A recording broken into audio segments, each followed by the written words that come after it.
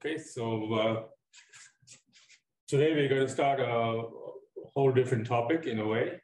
So we spent a lot of time studying uh, correlations in insulators uh, in various spin liquids, um, and also talked a bit recently about fractional quantum Hall states, which are also similar to insulators in many ways. Um, and I've surveyed a lot of the developments that happened in the last 20, 30 years in the field, and a lot has been learned.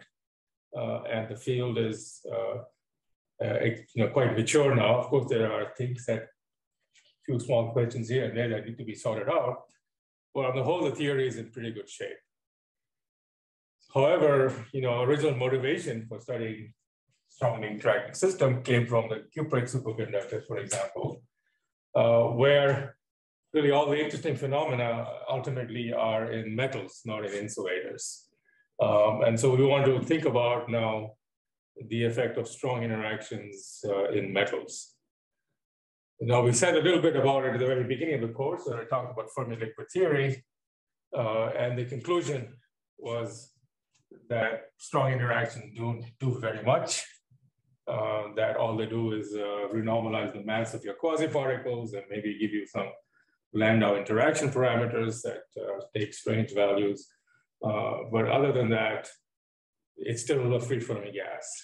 Uh, and you know, this is sometimes been called the tyranny of the Fermi liquid. I mean, the Fermi liquid is a rather stable object, uh, and it's found you know all over the place in the real world. Um, but so the remainder of the course is really a way to now to start thinking about strong correlations in, in metals. And the simplest context is to take something we know well with strong correlations, which is spin system, and let's take a single spin uh, and couple it to a metal. And that's what the quantum impurity model is. Uh, this was actually understood even longer ago in the 60s and 70s, uh, and maybe even, yeah. Uh, but I'll present it from perhaps a more modern perspective and that will also allow us to talk about more complicated systems where you have strong interactions uh, in metals, uh, models and Hubbard models, where now we know you can get interesting strong correlated phases, uh, even with metals, uh, including some uh, metals that don't even have quasi-particles. So that, that's sort of where the course is going to go, and I'll kind of end with that uh, discussion of various models of metals uh, without quasi-particles. Okay, so, so that's sort of where we are. So, so we'll talk about the very simplest case where we take the simplest system with strong correlation, which is a single spin, and couple it to a Fermi liquid. And that's what the quantum impurity model is. So quantum, uh, you know, it was actually discovered experimentally, the model that we're going to discuss. Uh, through some experimental observations by actually Myriam Sarachik, who just died a few weeks ago. Um, so perhaps it should be called the Sarachik Kondo model, but I think it's too late for that. Kondo solved it theoretically, at least understood the, the most important theoretical property of it. Um, so you take a, a, metal like copper, so you have some big metal, and, and this metal has electrons from liquid-like, and you put in a single impurity, a single site, uh, say something like manganese, uh, where there's a spin, okay? Uh, so this spin will couple to the environment with some exchange coupling um, of, uh, uh, let's say there's some coupling, we'll call it uh, J sub K. Okay, I'll make this all more precise in specific model shortly. But qualitatively, what would you expect? So if you have a single spin, the Hamiltonian uh, is, well, just zero. It's got two, you know, with a spin a half, there's two degenerate levels. Uh, but if you put in a small magnetic field, a Zeeman field, let's call that H, it will couple to the spin this way. And what you measure is called the susceptibility. You look at the response of the system to this magnetic field, uniform magnetic field through a single spin. Um, and that's a Curie susceptibility. Uh, and the answer you get, uh, again, an undergraduate calculation that I urge you to redo if you haven't done it before, uh, is S into S plus one over three T. Um, and for, for a spin a half, this is one over four T. So that's the Curie susceptibility. It diverges as temperature goes to zero. On the other hand, the metal, the rest of the metal here, uh, will have a susceptibility, which is called the Pauli susceptibility. This will, of course, be proportional to the volume of the system. A single impurity. Uh, chi Pauli is proportional to the volume, um, and uh, as t goes to zero, it, and you get a factor of the density of states at the Fermi level. So this, uh, as t goes to zero, uh, goes to a constant. So the Pauli susceptibility is one of the signatures of a Fermi surface uh, because you have a finite density of states at the Fermi level. Um, you know, you have this picture. This is your dispersion. These are your upspin electrons and downspin electrons as a function of K. Uh, and when you put a magnetic field on, you change the Fermi level for the two of them. Uh, and it's this magnetization is the difference here, which is proportional to the density of states and the, uh, and the, uh, field, basically, which gives you the splitting of the two levels. And that's how you get a constant, constant susceptibility. So one thing you notice here is that the effect of impurities becomes very large as t goes to zero, whereas the effect of the metal is uh, relatively small. And so even a small density of impurities is easy to observe. You just go to very low temperatures and you'll see the Curie contribution. So uh, this is the, the Pauli term is neglecting the um, or coupling to the orbital motion of the electrons. Or uh, yeah, so there's a diamagnetic contribution which has the opposite sign, which typically comes from uh, from far from the Fermi level. Uh, yeah, I see. So that is also a constant actually in a Fermi liquid. Uh, yeah, okay. So sometimes you have to worry about it mostly. Uh, uh, it's not as important. Yeah. Okay. Yeah. I assume that this the Pauli expression is at large V. At large what? At large V, at large volume. Sure, sure, infinite volume. We are going to talk about infinite volume. So, but it might have order one correction, kind of finite size effect. How does uh, that how does that uh, interact with the Curie kind, which is also order one? Uh, yeah, so that's a subtle question. I don't think, you know, then you'd have to really go into the Kondo model and study its finite size behavior. But aren't you really interested in having a non-zero density of impurities? They're far apart, so you can treat them individually. That's right. But eventually we're going to bring them closer together, not this lecture, but we'll, yeah. For today, you're, but when you discuss observing it, when Myriam Sarachik observed it, she yeah. had a lot of impurities. Yeah, so there was a finite density, but still very small, a percent 1% or even smaller, you can see that. So that might be enough to control the finite size because they both scale linearly with the volume. You, you have a huge sample. Sample is infinite. Uh, let's just work in that limit for today's lecture. So V is infinite. Uh, but there is a finite density of impurity. So maybe I should multiply this by uh, the volume times the density.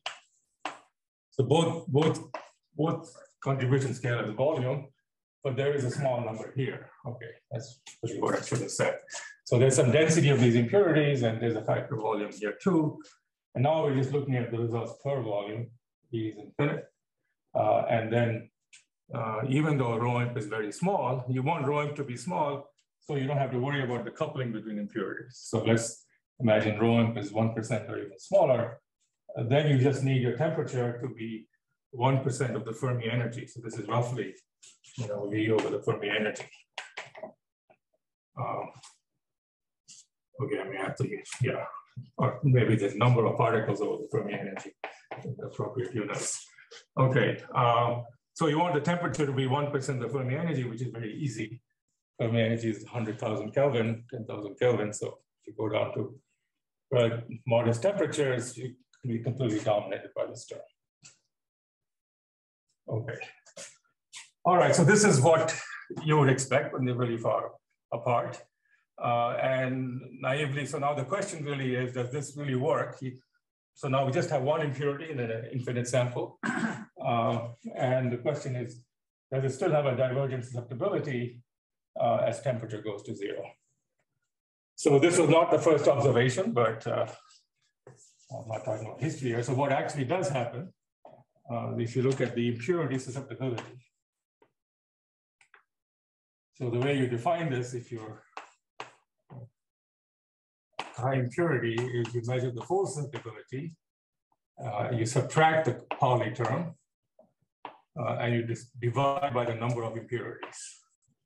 The Pauli term is proportional to volume. Uh, well, this is also proportional to volume if the number of impurities scales with the volume. So you subtract out the Pauli term, which you know somehow, uh, and then you look at impurity susceptibility. And we assume the impurities are far enough apart that you don't have to worry about that interaction. So then as a function of temperature, you would expect the Curie term uh, just from this anatomy. Um, and you do see it. Uh, now at low temperatures, different things can happen.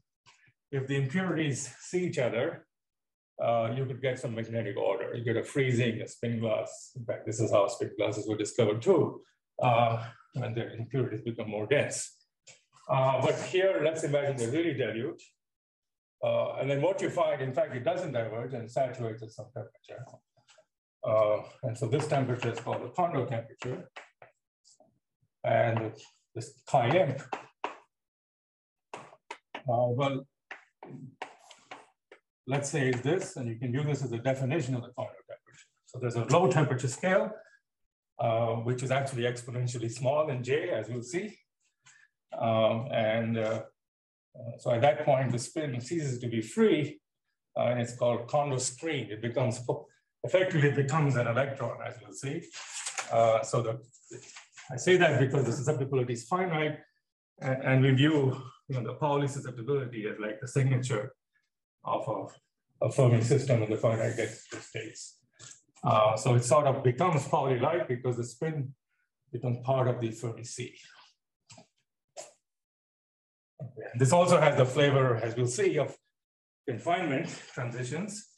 Uh, and this Kondo temperature is the analog of QCD, of lambda QCD, uh, when you're going from uh, here free spin-like behavior to, uh, to some kind of confined state, which in our case will be the Fermi liquid. Okay. Um, and so there's some arbitrariness in definition of TK, just like lambda QCD. Uh, different people define it differently, uh, but let's, let's define it this way. Okay. All right, so, and in fact, if you want to look at this behavior here at low temperatures, uh, there's a function here, which will be temperature over Tk. Okay, and what we know today is that this is a universal function. It only depends on, doesn't depend on anything uh, other than the fact that it's spin has impurities. If it's spin one, it'll be different and so on. Um, and so this, so, so the aim of the theory right now is to compute this function. Today, of course, we can compute these things essentially exactly, uh, but it took a while to understand how to do such things. Okay, so this function as t goes to zero goes to a constant, it goes to one. So whatever this function is, we define it as x uh, to one, and then, and also as phi of x goes to infinity, it has to match the 1 over 4t, so it must go as 1 over x. Okay. So there's some function that goes between 1 and 1 over x, which looks like this, uh, and you have to compute it. That's the goal of theory. And uh, today, you know, for the work of Natan Andrei and others, we had exact Bethe-Ansatz equation, which compute such things. All right. Uh, so that's one property of a Kondo model. The original property that was measured uh, was the resistance minimum. And that also looks kind of similar. So you measure the resistivity of the sample as a function of temperature. This is a bit more complicated because many other things contribute to resistivity, not just the spins. Uh, there's electrons interacting with phonons, or whatever it is, there's some resistivity in the pure metal without magnetic impurities uh, which normally would go in like this. So this is without uh, without uh, impure, magnetic impurities without spins.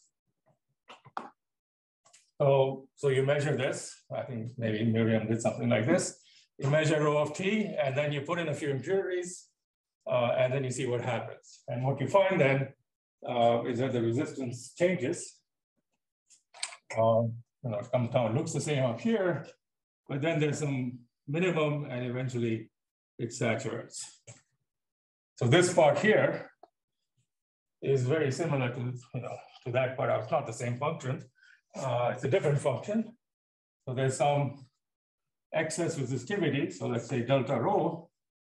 Uh, again, it'll be some function uh, of T over T Kondo, um, which goes to a constant as uh, over here, um, and then has then decreases. So the effect of the impurity becomes much stronger at low temperature. So it's kind of the opposite here. Here, the impurity dominates at high temperatures, or the impurity susceptibility, uh, because that's, you know, the impurity has a huge effect on the susceptibility. But if the impurity was just sitting there and decoupled from the system, it has no effect on the resistance. But at low temperature, effectively the impurity becomes strongly coupled uh, to the electrons, and that increases the resistivity of the, of the metals. So what's uh, observed then is the minimum. This is called the Kondo minimum. Really, this should be called the Sarachik minimum. uh, where, and this happens again roughly at the Kondo temperature. Well, they're not exactly because after all, where the minimum is depends on the background. Anyway. okay. But that's of order TK. It's not exactly equal. Yeah, it's not the same. I mean, it'll depend on what the background and the function is not the same, right? It's a different no, function. It's a different function. Yes. Different function. It's a different property of the same universal fixed point theory that can be, you know, it's this is related to some kind of T matrix uh, of the quantum impurity. The other is just the thermodynamics. Yeah. Okay, so that's the, the background. Um, and so the model we want to study uh, is the following. So right now, let's write down the Kondo impurity model.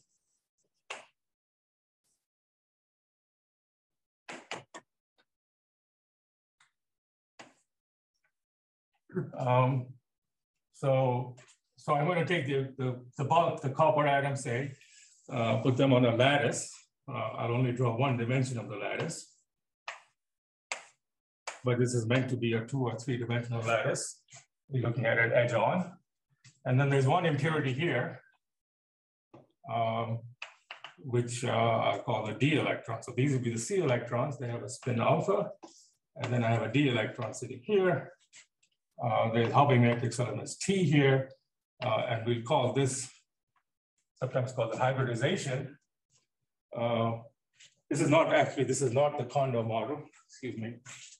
This is called, well, uh, the Anderson model, but there's so many Anderson models, so that's confusing, but it's really the Anderson model. it, I will derive the Kondo model from the Anderson model in two while. Um, so the Hamiltonian is uh, minus P, its neighbors, C there, I alpha, C J alpha. Uh, and then you have this site, epsilon D, uh, energy d dagger alpha d alpha. There's a chemical potential, which is as usual, I won't write it out. Uh, then there's a hybridization, which couples the C and the D, the local impurity, which will be something like minus W times D dagger alpha C zero alpha. This will be the spin at this side. This is the side zero uh, plus Hermitian conjugate. And finally, to make this a spin, uh, rather than another electron, electronic state, we have to put in the local interaction. So there's U times uh, ND up, ND down. Uh, so where ND alpha is C dagger, sorry, D dagger alpha D alpha. Okay, so that's so that's the Anderson model, Anderson impurity model. There's another Anderson model, right? yeah. This is meant to be in one dimension? No, no. Uh, you could do it in 1D, but the behavior in 1D is a bit more complicated. So two, let's say two and above. All right, so this is our, uh, so this is a two-dimensional lattice and just one side. So if you look at it from the top, you have a lattice here. Uh, and there's an, uh, an, impurity site there. There's an extra orbital on that site, uh, which is the manganese orbital, the d orbital. Uh, so now we are interested in the limit where u is much, much bigger than anything else, p and w. So the impurity, so the underlying, the ambient space would be any number of dimensions. So one, two, three. But Let's say two and above, two and above. And the impurity is always a point. It cannot be on a line. That's right. It's a point. It's always a point, like, like in this picture. Uh, or in space-time, it's a line. Okay, right. So it's a line impurity in space-time. Yeah. And there's a, it's not a trivial impurity. It's got a, it's got a dynamic degree of freedom on it uh, which is because you have to add the, it's the degree of freedom that gives you the Curie susceptibility at high temperatures. Um, all right, so so that's the model we'd love to solve in this regime. You do not allow it to hop. So it's is it pinned down? No, no, it is hopping. That's the W. I no, see it hop. D. So the impurity can also move around. Or uh, okay, so the, the, there's I thought alpha is the spinning index of the impurity. Right. So, so let's see. There's two different things. There's a manganese uh, nucleus. Yes. The manganese nucleus sitting here does not hop. Okay. It does not move. But so that the, the presence of manganese nucleus just means there's an extra state here. There's an extra D state, which is this state. And the electrons can, can hop in and out of that state, for sure. okay. Now, what makes it spin is the fact that U is much bigger than T and W. And this is very similar to the Hubbard model. If you go back uh, historically, of course, things came in the opposite order. Uh, but we talked about the Hubbard model uh, and then showed that at half filling, uh, it just became a spin because at large U, you put one electron there, but you were forbidden from putting the second electron. And that's what, exactly what will happen here. We're adjusting epsilon D uh, so that uh, this d orbital likes to have one electron. So uh, let's see. So if I just take the d site,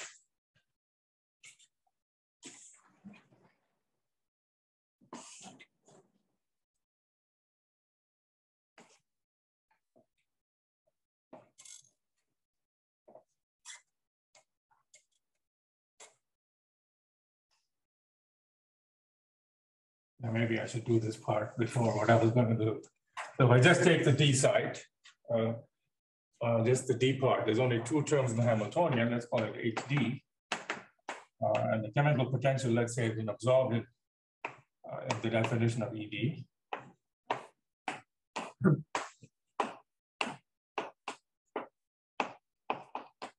Okay, so there are four possible states on that impurity site. Uh, there's the empty state, which will have energy zero. Uh, and there's a doubly occupied state, which will have energy. Uh, so that's the empty state. There's a doubly occupied site. You have energy 2 epsilon d plus u. Uh, and there's a single occupied site that uh, will be here. We call that epsilon d. That's one or this. So we naturally we want epsilon d to be. Oh, I got this right. Sorry, sorry. sorry. Uh, zero and two epsilon d plus u. And here's the singly occupied site, this or this, which will have energy epsilon d. Uh, and we are assuming that this is much below that. Uh, so a typical value would be epsilon d is of order minus u over two. That's the particle hole symmetric case. And these two become degenerate, but doesn't matter, they're way up there. Uh, and uh, you've got a, a, a, spin sitting here. So, you know, as we discovered in the last month or so, once you have a spin with this constraint of single occupancy, all kinds of novel things can happen, fractionalizations, spin liquids, anyons, and so on. And we are hoping for such similar fractionalized phenomena here, although in this particular model, they don't happen. Um, but there's still an interesting regime, a crossover regime where it's as if things are fractionalized, uh, which is again not dissimilar from QCD. Is there any reason to think of this D this D particle as actually one of the electrons from the manganese atom? Yeah, absolutely. That's what it is. That's, that's the picture. Yes, yeah. So, I mean, the picture is that, uh, you know, the matrix uh, has uh, some sort of, uh, on the conduction bands, which are S and P and D orbitals, but you know, manganese has an extra, has those plus an extra electron. So which is why it is added as a second site. I mean, there's a very precise way of doing the band structure and deriving actually all the numbers model. I mean, really all you need to know is the spin of the impurity. That's a well-defined number.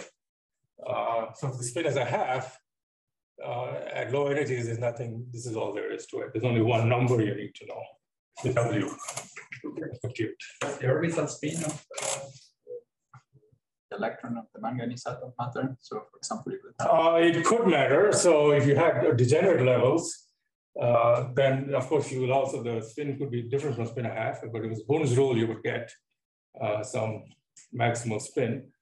But you could also have orbital fluctuation, then you get multi-channel Kondo problems. Yeah, so that would be more, that would be another index on D other than the spin. So that's a natural way to get the multi-channel. Uh, I mean, that was the original motivation. I think experimentally, uh, because the orbitals are not exactly degenerate, uh, there is, and, and that breaks all the multi-channel, exotic multi-channel effects. Uh, I think there've been other realization of the Kondo problem in semiconductor heterostructures, uh, where the Kondo degree of freedom is not spin, but the spin is that you have like you hit like the orbital index, so you're guaranteed to have degeneracy.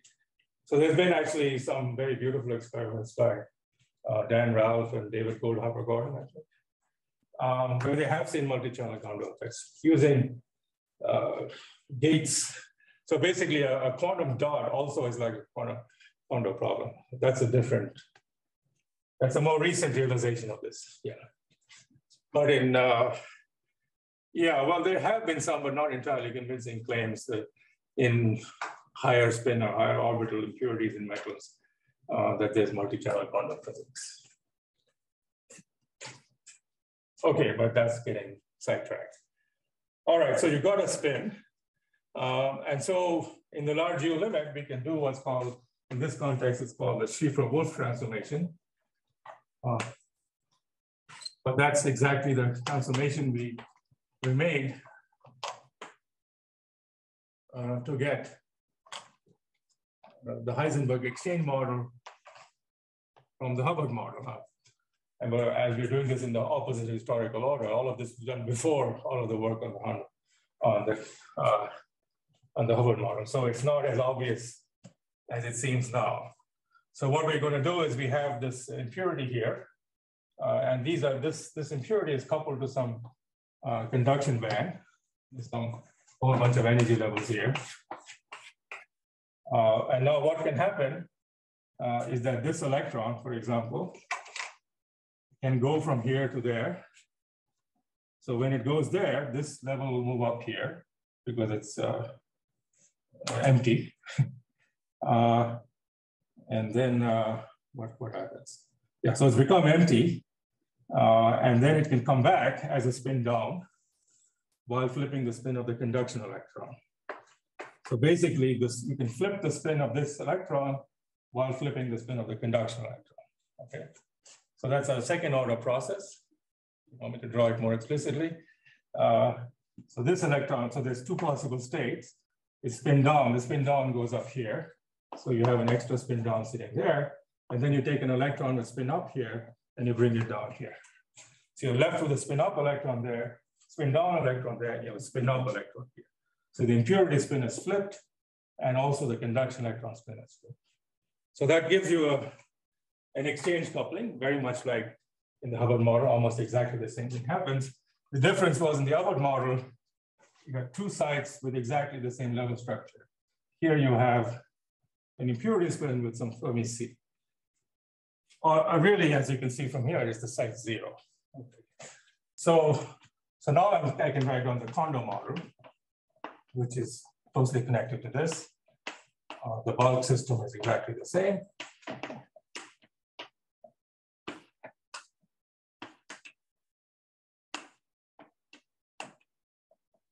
Um, and, and that whole mess under these conditions where this level is much below these two uh, will give you the Kondo Hamiltonian.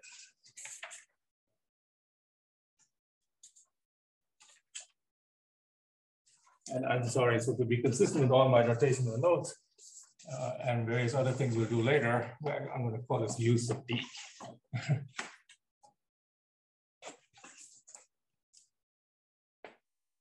Okay.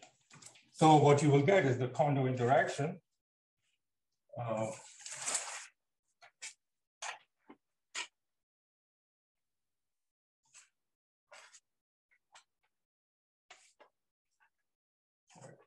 okay.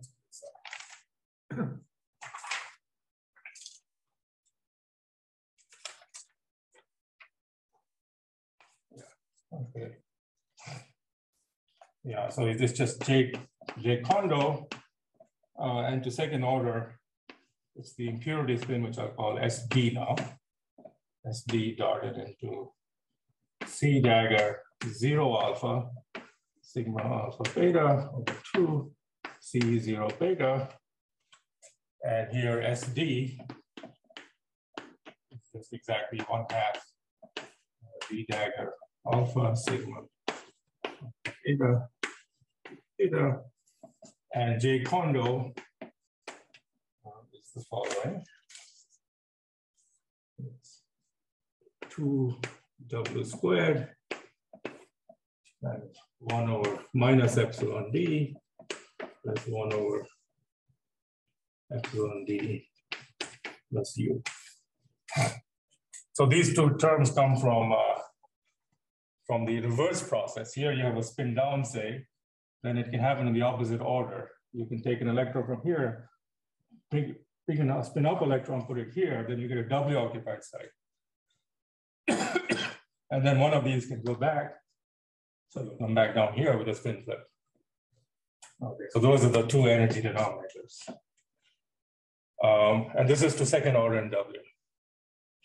Now there's also another term, which is often neglected, which is something like V times C dagger zero alpha, zero alpha times ND up.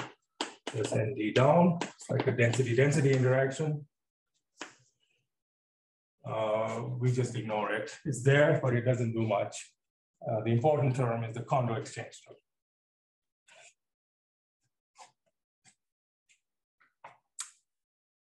Okay, so this is our Hamiltonian that we'd like to study. Uh, and what Kondo did uh, was perturbation theory in JK. He computed resistance to second order in JK. To second order in JK, you just get uh, you just get temperature independent contribution. So you have to go to third order in JK. So it's sort of like a two loop graph. And when you evaluate it, you find you found a logarithm, logarithmic dependence on temperature. Uh, and that was an indication that something is becoming larger. Okay. Uh, and this is again analogous to QCD, where if you compute the gauge coupling constant, you find normalization, which are logarithms. Uh, okay, we'll, we'll do some of that in a short, in a few minutes. Yeah. So conceptually, if you start from H, what exactly did you do to get to HK? Did you integrate out anything or? Well, uh, you should view it as a canonical transformation. So we talked about this at the beginning of the course. Uh, you do a canonical transformation where you eliminate W. So you, you define a new Hamiltonian. So roughly speaking, HK is H times some U, U dagger. Okay, so that's what it is. Um, When you say you integrate out those two levels, that, uh, you could say that, I mean, but it's, if you want to do it exactly and not generate time dependent terms, you have to do it this way. If you want to work, use the Hamiltonian picture, this is what you have to do. But, but you still have the D's, so you didn't integrate out the two, the two levels. Well, uh, yes, but there's a constraint now. Uh, D dagger alpha, D alpha is one. So these are not really fermions anymore. They're constrained perhaps in this last term, you could set ND plus ND up and plus ND down equal to one, right? To be consistent. Uh, yes, yes, in fact, yeah. So there is, a, yeah, you're absolutely right. So it's, this is correct. So th- there's a potential scattering term. Yeah. That's just, thank you. And maybe that's what caused the confusion. I mean, if, if you do this by doing Brillouin-Wigner perturbation theory to get the effective Hamiltonian in the degenerate subspace, that Hamiltonian is energy dependent. Okay. And this canonical transformation is, is equivalent to sort of getting rid of that energy dependence. Uh, let me It's, it's negligible in the large U limit, right? All right, let me just say that uh, since it was many months ago when we did this. I thought I it, or maybe it was a homework problem. Uh, So right now, you know, you're, you can view the, you have a big Hamiltonian, uh, which is, whose Hilbert space has been split into four sectors. So there's really one, two, three, four. So you can divide the whole Hamiltonian into four sectors. Uh, and in this sector, you have spin up on the down- downside here, you have spin down on the D side, you have an empty side, and you have. Okay. So this is our Hamiltonian, and there's all, and you have all possible infinite number of states of the conventional electron in each block. But the state of the D spin is specified. Uh, and so this, however, this W sitting here where's the W? Here, uh, has off diagonal contributions here. There's various W's here. All the W terms connect these sectors. So if you take your out of singly occupied state to W occupied. So you do a canonical transformation. You choose your U so that all of these W's in the new Hamiltonian, in the H Kondo, these are gone, the second order W. Uh, Actually, these don't go away, but, uh, yeah, sorry. Yeah, these, these blocks go away. So now you have a reduced Hamiltonian in this block. You can forget about those terms. And that reduced Hamiltonian uh, is that one.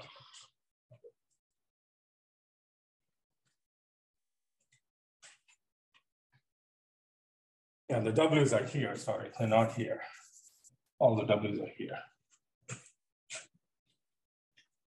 Okay, so there's no W. We've gotten rid of this at price. The price is uh, that you have a constraint, but you've gained a lot. Uh, you've gained in the large U limit, you have a coupling constant J, which is small.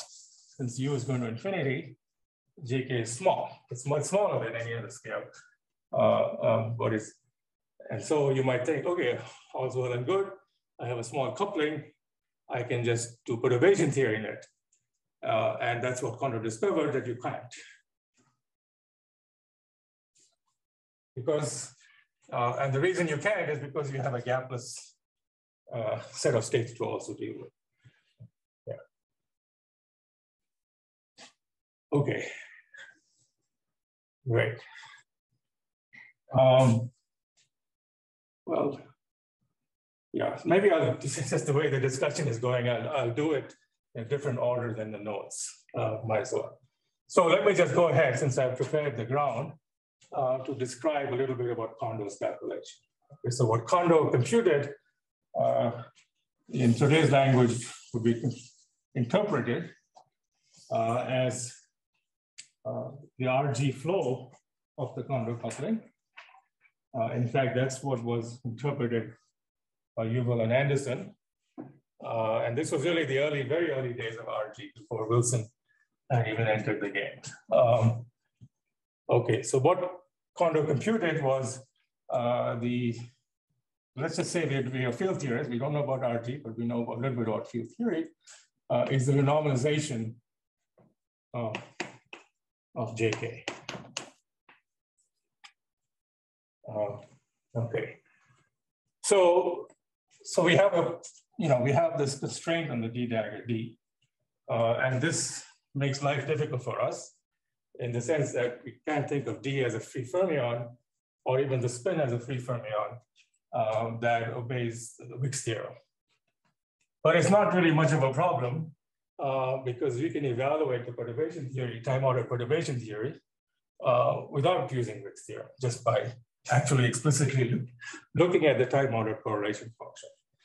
Right, so you take your partition function, uh, which is the trace of e to the minus beta hk, uh, and then you can write it um, as some expansion of various time order correlation functions.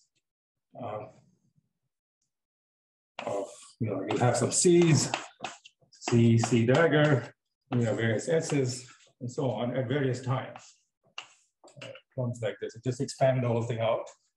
Uh, and have some integrals over times. These are the various times, and there'll be a time ordering symbol. Okay, lots of indices here that I'm dropping. So the usual trick when you do Feynman diagrams, when you get a multi-point correlator like this, uh, is you use Wick's theorem. But here, uh, well, uh, you you can't use Wick's theorem on the S's, but you can on the C's because you're, you're this is an expansion where we think of HK is H0 plus some interaction. And how your our H0 is just free fermions. Oh. Okay. So this part, we have a very simple Hamiltonian from which we can do time ordered perturbation theory.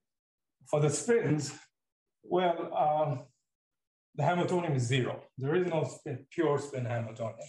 All of the Hamiltonian uh, is in the interaction field. So actually, let's see it's to be for this to be consistent to have four C's and two S's. And so this is a term of order JK squared. So we're just doing perturbations here in JK. Uh, and so you get four C's and two S's. So what do we do with this? Well, since the free Hamiltonian, the spin uh, and the electrons decouple, uh, we can go ahead and apply Wick's theorem here.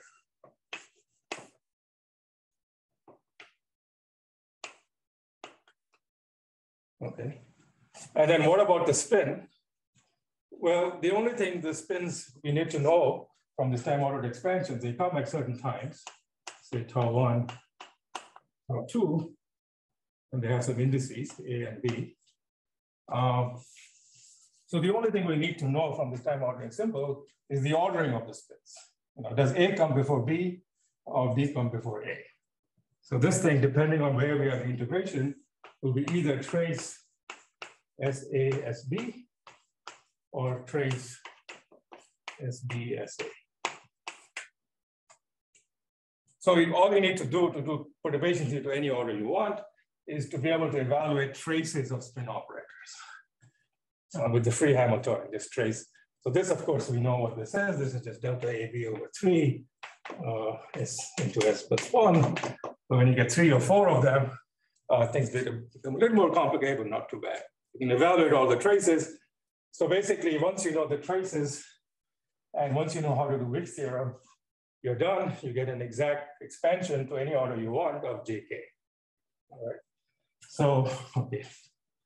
So it's not as scary as it looks. Um, it's really doable, even though there's no Wick's theorem. Um, and in fact, there's a nice way to represent this. Since there's nothing much happening uh, on the spin sector, except the ordering. So you just imagine that you have, uh, here's our time running this way, and the spins are sitting here. There's a spin and here's a spin, every time the spin acts, there's a JK, and there'll be a spin operator of those points. Um, and then you have the electrons moving around. Uh, and so you'll get various graphs like this. So these are the electrons. You get a graph like this for some quantum interaction term. Um, and then you will also get this graph.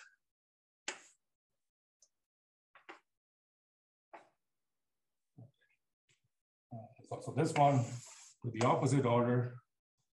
Uh, sorry. Okay, things like this.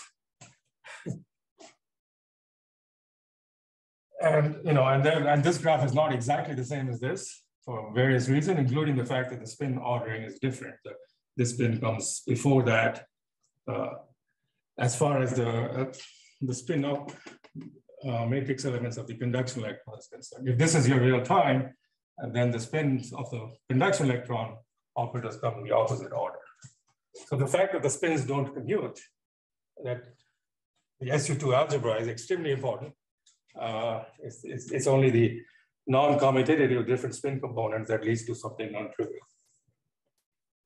Okay, so that's a sketch of the calculation, the actual calculation is in the notes. You can see it.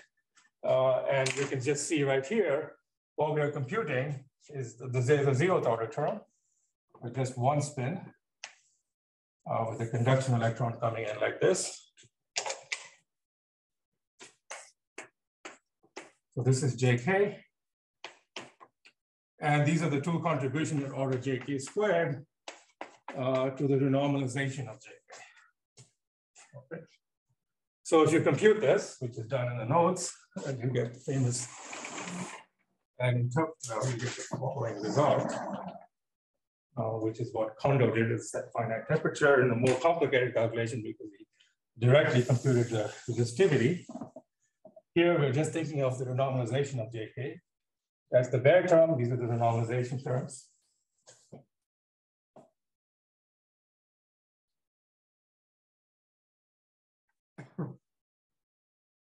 Um, and so what you get is that something like this, uh, JK normalized uh, is jk, uh, that's the bare jk, uh, plus jk squared, um, and then you get uh, okay, integral over the density of states of the conduction electrons, rho of E, uh, over basically mod E uh, with a factor of two. This is at zero temperature. Here.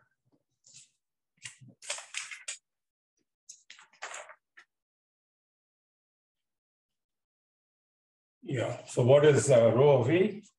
Uh, rho of E is one over volume, on K, uh, delta of E, CK. So that's the EK is the dispersion relation of the conduction electrons. Okay, so this is what you get from uh, second order uh, in the Kondo coupling. All right, so this, uh, the only trouble with this integral is it's divergent. Uh, there's a log divergence because rho of E, we're just going to replace rho of E by a constant, which, whatever I call it in the notes, sorry, in the notes I call it D of E. So let's stick to that. So we just replace D of E by D of zero. Um, because typically the Kondo, all of the interesting physics is happening at energy scale much below the Fermi energy. Uh, the Kondo couplings are much smaller than the Fermi energy, and so on. All right, so this is divergent. There's of course an upper cutoff of some type. Uh, and there's a, in the physical system, there'll be some cutoff, for example, temperature um, if you try to do this at finite temperature. Uh, so you get a finite answer, which is what Kondo finds. So what you find, and roughly speaking, uh, that JK normalized is JK there, JK times one plus, you know, I mean, the, the, the coefficient is precisely determined. And I hope I got it right here. I think it's fine. So there's two contributions here from, sorry, I should really make this, get rid of the two now. Uh, this is only for positive energies. Uh, so one plus jk log of cutoff over temperature, say. Uh, and there's a D of zero here. Okay, so Kondo computed something else, uh, but this is what he found, that there was some bare quantity, and then the correction was one plus jk times the density of states and log of some cutoff over temperature. Okay, so what, what does this tell us? Sign is plus because it's second order perturbation theory. Is that? Well, the important. coupling is increasing. So as you're going to low temperatures, uh, the RG flows to the large. reason that happened in this calculation is because it's second order perturbation theory. No, I don't think so. The fact this is plus? Yeah. No, I don't think so. I think that relies on the spin commutation relations. I see. Uh, It comes from commutator of spins. Uh, Yeah, well, for example, I mean, here JK is positive, meaning your interactions are anti-ferromagnetic. If JK was, JK can be negative. Uh, then the flow is in the opposite direction. So if you have a ferromagnetic coupling, uh, then the coupling goes to zero, and that's why there is no Kondo effect there.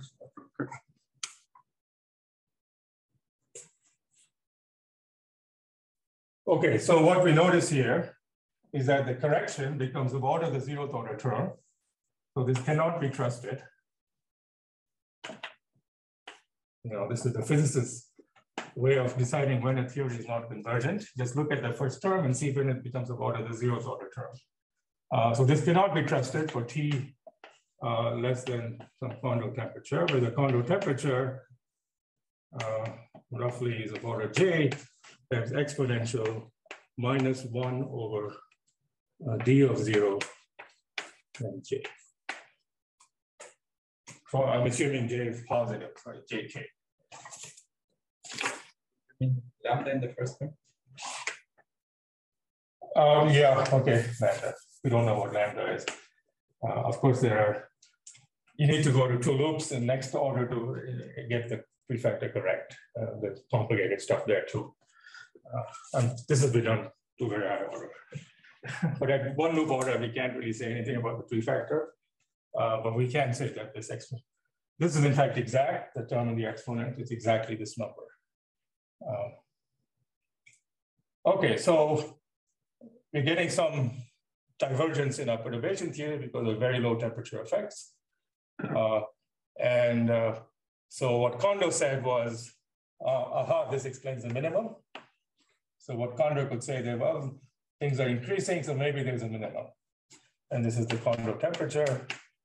This is uh, resistivity. But what Kondo couldn't say is what happens now. What happens at Why why explain the minimum? well, because this is a term that's becoming larger, uh, uh, it's become, so the resistivity of all the other terms of resistivity decreases the lower the temperature.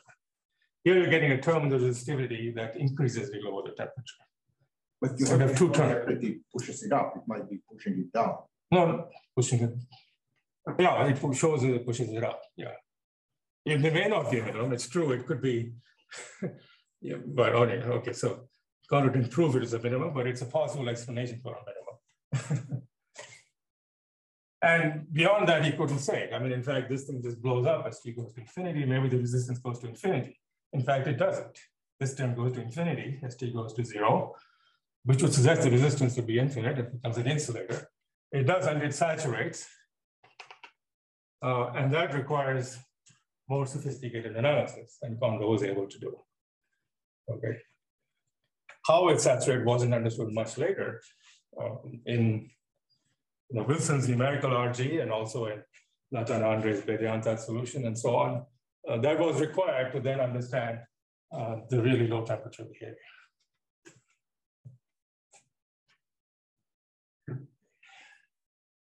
Uh, so as I said, uh, this has a alternative interpretation in RG, where you imagine taking the cutoff and reducing the cutoff.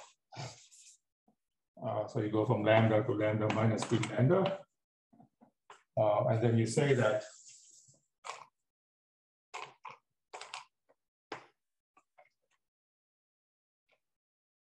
um, use this notation that uh, lambda minus d lambda lambda times e to the minus dl. Uh, and then you get a different, you can write this as a differential equation dkk dl uh, with rho of zero times uh, d of zero, sorry, times jk squared. Yeah. And then all our ignorance is in the higher terms, uh, many of which are known today, of course. Okay, uh, so this is, uh, you know, the world's simplest RG, but also one of the most important. Uh, so as you go to low energies, there's uh, flow to very strong couplet. So this is telling us that as you lower the temperature, go low energy scale, things fall apart. and JK, you know, all kinds of things could happen here. We don't know. There could be a critical point, another fixed point. That's what happened in the multi-channel Kondo case, or go all the way to infinity. Uh, and what is the behavior of the system at, when JK is at infinity? Well, we can discuss that in a minute. Uh, okay, so is that clear? Uh, is it, the perturbation series in this case has a finite radius of convergence, no? Radius, I don't think so. Uh, you mean here? I mean, just like QCD, I don't think it does. No, it doesn't. Yeah, yeah. So yeah, that was going to be my next remark. This is uh, exactly the RG equation for lambda QCD. Uh, for, for the gauge coupling loss in QCD, uh, of course, in the field theory literature, it's written uh, in the opposite way. They say that at, uh, when you go to very high energies, things become free and the gauge coupling becomes zero. Uh, so that's asymptotic freedom. Uh, and at very low energies, you have confinement. So this is the asymptotically free fixed point, and who knows what happens on the other side. So, to, so you really have to figure out, figure out what happens at large JK. And I would say Wilson in his numerical renormalization group was the first one to figure that out. Uh, later on, there were more exact methods used. Uh, and what essentially what Wilson showed uh, was that it goes in fact to infinity all the way. Hmm. Okay. Uh, and so now we can, you know, what is the behavior of the Kondo Hamiltonian at jk equals infinity? So you can go back to the Hamiltonian and see actually uh, it's not so bad. We can figure out what happens here uh, just by a new strong coupling analysis. Okay. Uh, but this analysis by itself doesn't tell us that this is, this is the simple flow all the way to infinity. So we have a new fixed point here and we have to do an analysis near this fixed point. Okay, so let's go back to our Kondo Hamiltonian.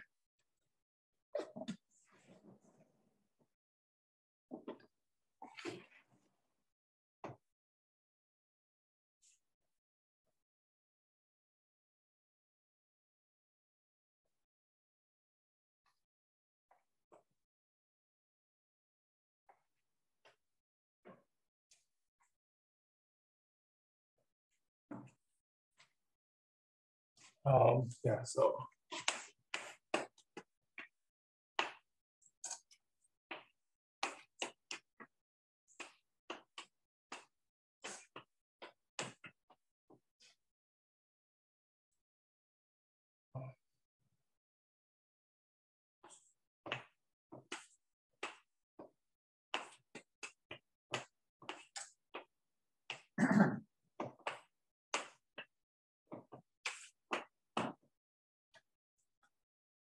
Okay. Question. Yeah. So if you, all your goal is to understand this Hamiltonian, then I understand the logic of mm-hmm. such volume grows. Yeah. But you started from another Hamiltonian, which had W. Yeah. It was yeah. a truncation to get to this one. Yeah. Now, what is not clear is whether, the, and in that truncation, JK was, was small. Correct, so correct. Is it valid to take JK to infinity in this Hamiltonian rather than considering the original Um, I think it is, yes. Not the same problem. It is not the same problem, right? Uh, so JK, you may remember, uh, was uh, W squared over U. So if JK is going to infinity, that's sort of like U going to zero. and U going to zero, we understand. That's just free fermions. Uh, and in fact, now that's exactly the conclusion we'll come to by looking at this Hamiltonian that apart from some potential scattering, it looks like this is just free fermions scattering of some potential impurity. So why didn't you do that from the start? Well, because uh, uh, I can't justify that at large U. I mean, remember the JK equal to infinity, that's in some rescaled energy units. You know, you res every time you do the RG, you're rescaling your units. So it's infinity, but it's really infinity with respect to the new cutoff. Here. The reduced cutoff, lambda has come down to a very small value. And now JK is about the cutoff.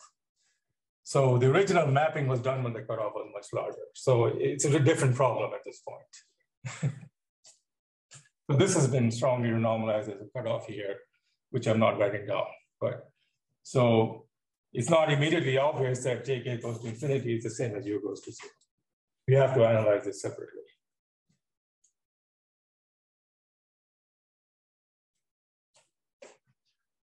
Okay, so, but that is in fact the answer. So, and it's easy to see why. Um, all right, so now, now we really want to look at it in two dimensions because the one dimensional case will be different uh, in the JK was bit. Uh, so let's say where's our origin? This is our origin site here. So what, uh, what are we going to do when JK is infinity? Well, this D spin will just take one electron from the Fermi sea and form a singlet with it. Okay. So on this side, say that's the origin side, uh, I'll get a state, which will be uh, one over square root of two, uh, you know, C dagger zero up, D dagger zero down, like C dagger zero down, and D dagger D on one side. Uh, okay. So I'm going to get, uh, you can't see the red very clearly, but Anyway, so that's a spin singlet between the uh, between the C electron uh, and C C0 electron and the D electron. And that's singlet's going to sit there. Um, okay, so there's an infinite Fermi sea, so you peel off one electron. Now, if you had a finite size system, I have to worry about that. If one electron disappeared, it's going to change my uh, boundary conditions and so on. But let's not worry about it for now. Uh, if you want, you know, the conformal field theory, that's the crucial effect, in fact, and you write down the theory of the quantum. Uh, so you peel off one electron, and now this thing is a spin singlet. Uh, and the, there are some excited states here. There's a triplet state, which will be excited by, uh, uh, by some of these terms. You remove an electron or something. But the moment you excite it, you're going to pay an energy JK. So you don't want to excite it. It's just, it's just a, a vegetable sitting there. Okay. And so for the rest of the electrons is concerned, uh, this is exactly like adding, forbidding electrons from going there. So I can replace this term uh, by the term from V, C dagger zero alpha, Z, C zero alpha, Sn V to infinity. I'll just have a hole in my lattice. It's just a potential term. The spin has formed a singlet.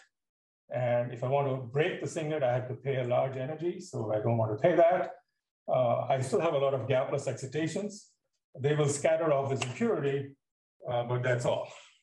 And that I can do. You know, I can solve the problem of this free electron scattering of a of an empty site. Yeah, that's to be exactly solved. In fact, we'll get to it in a minute. Uh, and so our conclusion is that in the end, the it's there's no spin left, and it's just a slightly normalized Fermi liquid uh, with a free with a missing site. Okay.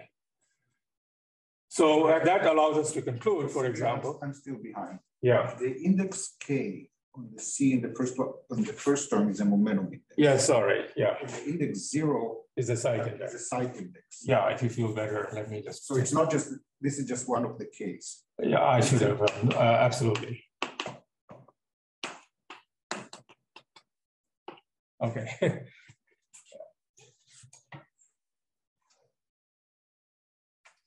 Um, there's also, you know, when you go from Ks to zeros, there's factors of one over squared of volume that you to keep track of. But yeah, they, they all fall out. This, this analysis doesn't enable you to calculate the, the uh, limiting resistance at t equals zero. Uh, it does. I mean, up to a constant, it will allow you to. It's, it's finite, but I, there's some, something, Yes, so there is a sophisticated, there's a precise way to do this, uh, which is uh, which is done by Nozières, uh, where you look at now, you look at, well, this will give you some zero temperature, some finite constant resistivity. So, so from, from now you, uh, you know, for example, the plot the resistivity. So Kondo told us it started to go up. This analysis told us it goes to a constant. So the, this impurity only gives you some constant. And now you want to connect them up, and you can uh, you can do high order perturbations here that will allow you to go a little bit better here. But you can also start doing this here. Uh, and that requires you to put in other leading irrelevant operators. This is the first, this is a relevant operator, but there are other operators that you can write down. Uh, so that was done by Nozières, I won't do it. Uh, and then putting new operators here at the strong coupling fixed point, you can figure out uh, the temperature dependence of this. But of course that each operator comes with a new unknown coefficient. Uh, then to get the whole function, uh, in the limit where the bare jk is small, you need two more. You need to solve the full problem. and that's what Najan did, uh, where you can get the full function, including the coefficients of all the leading operators, the relevant operators, uh, all expressed in terms of one unknown, which is tk. I think in QCD you do very similar things, right? That's heavy quark perturbation theory or something like that. no, not quite, but some, this, there are very strong coupling expansions in QCD. we need the Natan Andrei that. Sorry? we need yeah, we need. yes, yes, yeah, right. I believe it's not interpretable. yeah, it's chaotic. okay. Uh, all right, so I think I've covered the basic phenomenology and, and uh, the basic RG equation uh, without actually doing any serious calculation. Uh, any questions? I mean, the, the Kondo calculation is fun to do. Uh, it's in my notes. Uh, you, you, can do it in many different ways. Uh, and uh, yeah, everyone should do it once. Yes. actually, I have one question. If you went back to the Anderson model, yes. Since, um, you could guess in view of this answer that we could get the same thing in the Anderson model by setting u and v to zero. And then instead of being having an electron vacancy, we have an extra electron. Yes. we have to solve that. But I suspect it flows in the infrared to the same thing as had a vacancy. Yeah, so basically this says that small u perturbation in the Anderson model is stable, which, which it is. So you could do small u perturbation theory. Uh, and this uh, effectively you know, small U perturbation theory is like a large JK series, whereas this ultimately is a small, you know, this whole RG flow is only believable and it's only universal when JK, the bare JK is small. Because that uh, it's only the RG flow right here that's universal. You know, once it gets strong coupling.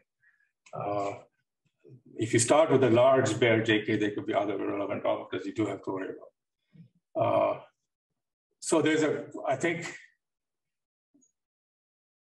yeah, there's, there's a matching of the terms, uh, order by order in one over JK and small u, but I don't think there's any quantitative connection. Yeah, I think that's, uh, I think with putting u equal to zero in the Anderson model would be similar to going to lattice QCD at strong coupling.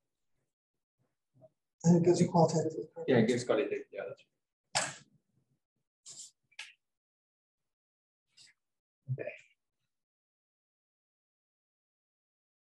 Yeah, so these questions actually become much more relevant and interesting uh, when you talk about the, the lattice, Kondo lattice model, which probably I won't do today.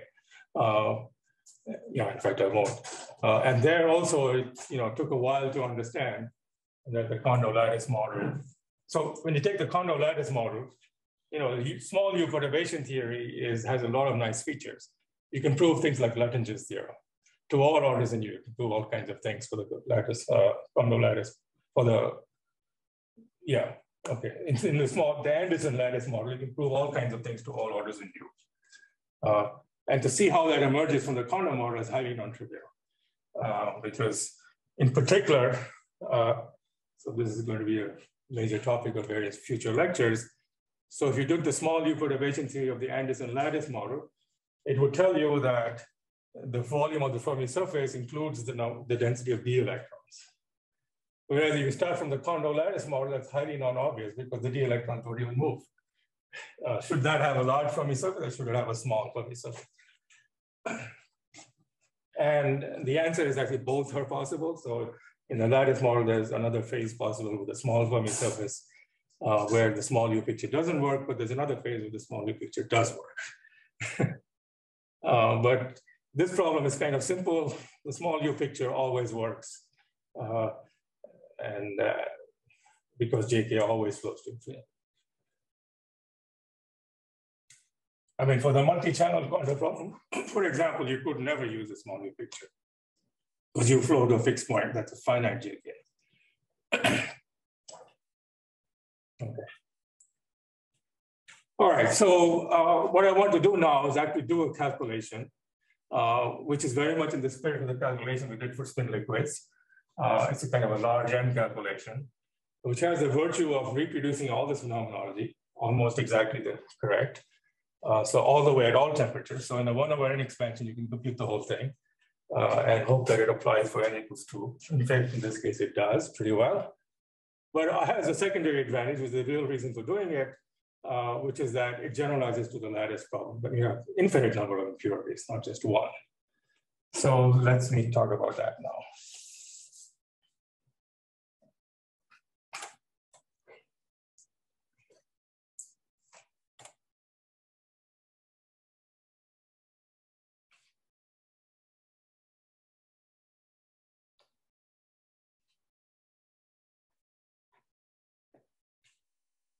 All right, so we're going to look at the same Hamiltonian. Uh, and we're going to turn the crank by all the fancy methods we've learned in studying spin liquids.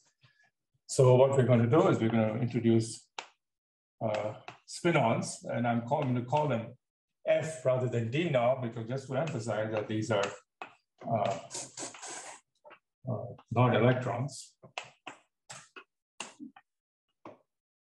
And um, and there's a constraint, f dagger alpha, if alpha uh, goes is one. So now you see immediately there's a U1 gauge symmetry.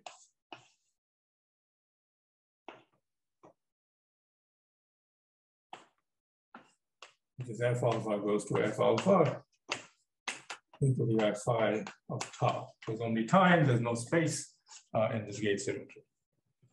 Well, this is kind of a trivial gauge symmetry uh, because there's only time, so there's no flux. Uh, and you can always choose a gauge where you can get rid of it.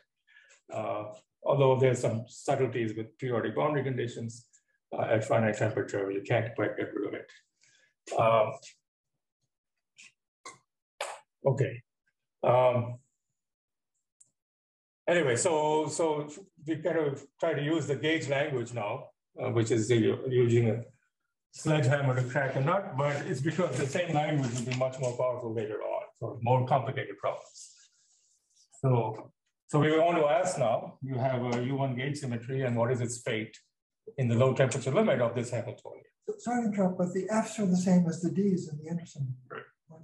Uh, the D's in the Anderson model didn't have a constraint. So, okay. yes. Didn't have a constraint, but. Yeah, so I, I yeah, so I, just for future purposes and to clar- to really emphasize that these are not electrons, I'm calling it X. But I should have called them D, but I'm, yeah, I'm changing notation. Yes, that's all. So they are anti-commuting. They're still anti-commuting. Oh yeah, that, yes, yes, yes, yeah. But there's only one side, so uh, they certainly anti-commute with the C's and so on. Okay.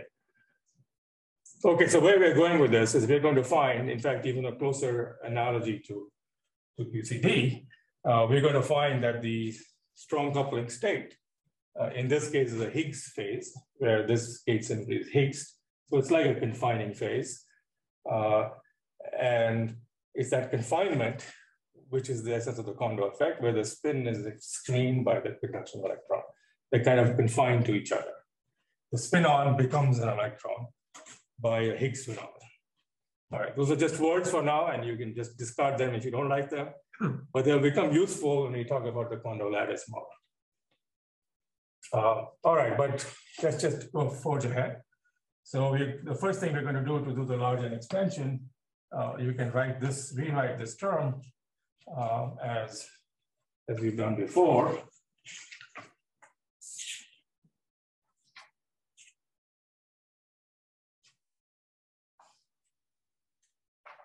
Yeah, so this term is uh, minus jk over 2 uh, f dagger alpha c0 alpha and c dagger 0 beta f beta uh, plus some constants.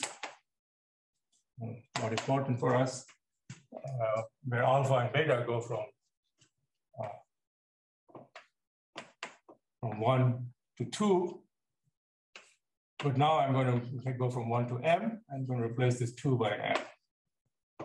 Okay. And m is going to become large. And this is going to become m over 2.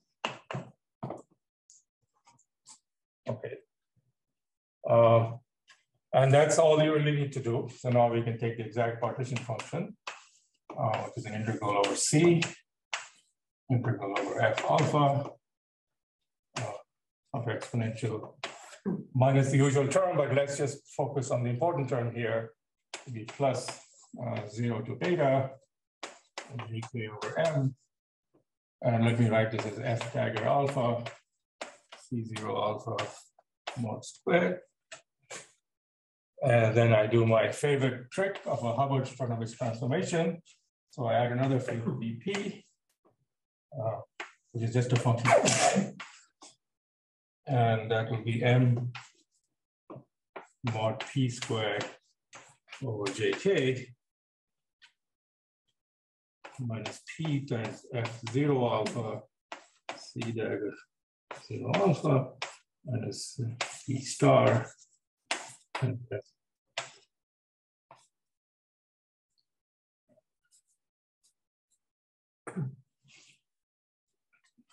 Sorry. This is all awful notation. F alpha dagger, C0 alpha, C0 alpha dagger, F alpha.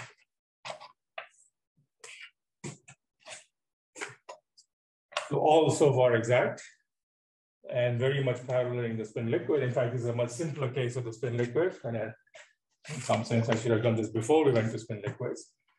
But then we wouldn't have, you know, the advantage of spin liquids, we don't have this gapless C to worry about, which is the C electrons. Uh, and now you can see that if I do the path integral over these two, I'm left, uh, I get some action uh, which has an M out front. Okay, so after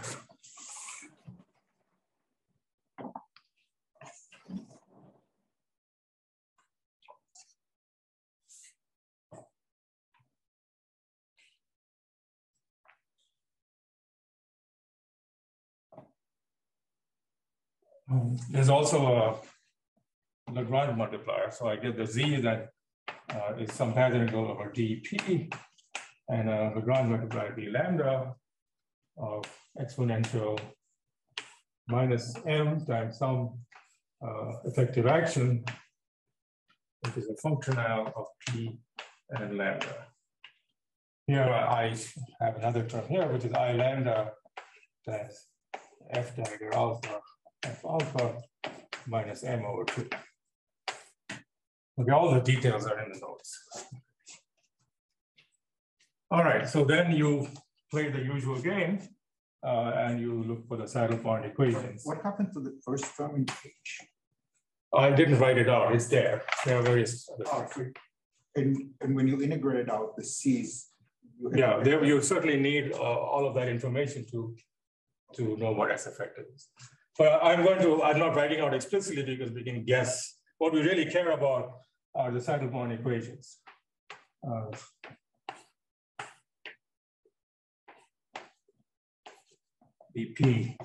equals zero. So what are these equations? What form do they take? And I think you can just guess, just you have enough experience with this, hopefully.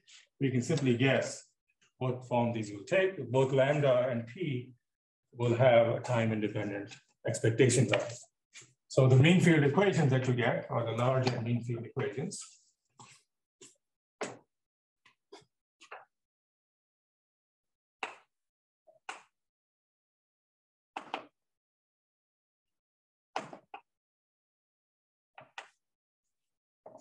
So you have some mean field Hamiltonian, which will of course have the first term.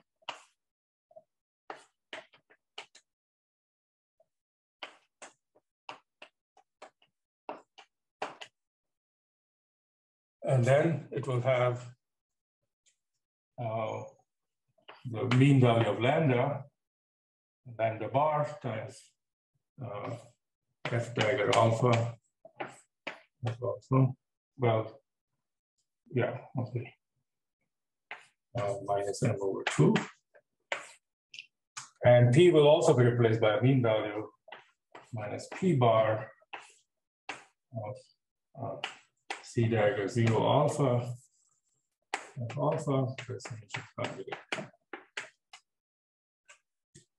So beautifully, I just got a free fermion Hamiltonian uh, with at u equals zero. uh, so there's no interaction. There's just some chemical potential for the F, and there's a hybridization P bar. So the difference from the original model, which I, if I just put u equals zero in the original model, this will be some bare chemical potential. Uh, this would be W. But now this is not W. It's something non-trivial. It has to be determined by solving these equations. And so you have a self-consistency equation like in any Hartree-Fock theory. You have the equation that um, for the trivial one, f dagger alpha, f alpha expectation value is m over 2. But you also have the equation that p bar is 1 over m times the expectation value of f dagger alpha c0 alpha. Okay, so that's a very standard large M procedure. And we're back to the U equals zero Hamiltonian, uh, the Anderson Hamiltonian, except that the hybridization, as it's called, has to be determined self-consistently. Okay, and that's, in fact, of the, all of the physics of the Kondo effect, is in that self-consistency. That's where we find the logs and everything else. Uh, okay.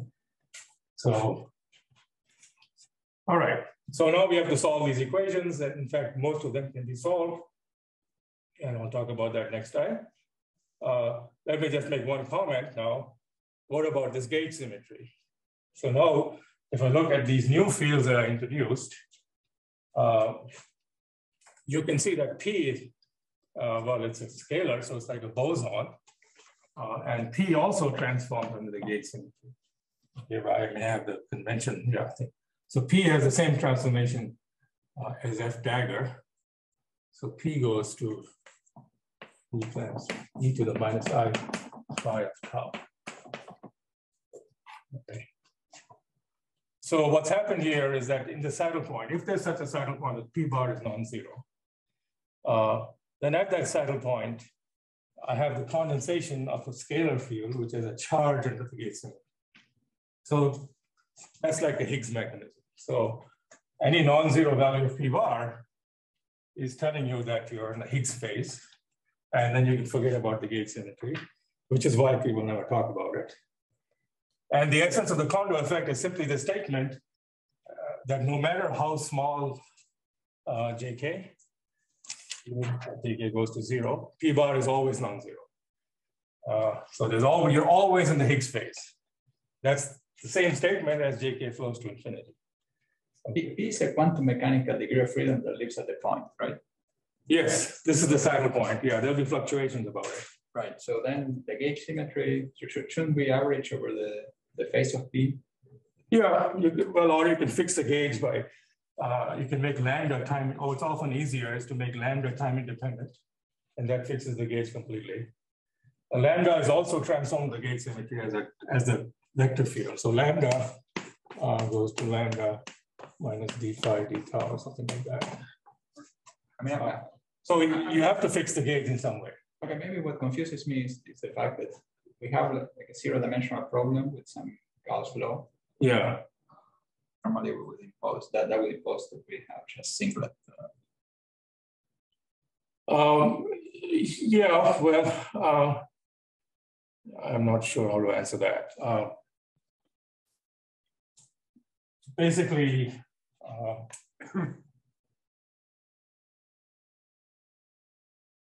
I mean, there is a Gauss law, but this is the statement of Gauss's law that the density is fixed, okay? Uh, and they're not allowed to fluctuate. There's no charge fluctuation. This is like, this is basically Gauss's law here. This is the gauge charge is m over two, no, no fluctuations. Uh, and that Gauss law is imposed by the lambda fluctuations.